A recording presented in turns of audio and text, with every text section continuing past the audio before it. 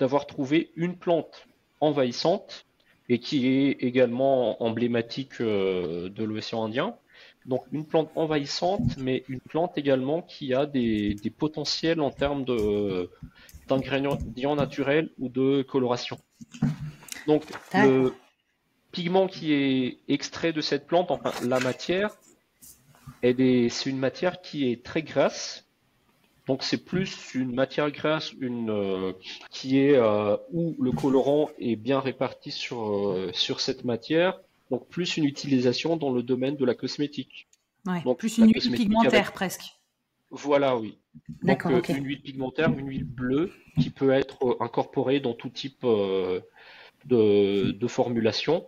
Comme c'est déjà un ingrédient qui est sur la liste INSI de, la cosmétique européenne, mais utilisé en tant que émollient. Ah, d'accord. Et toi, tu en as trouvé en plus de la couleur. Génial.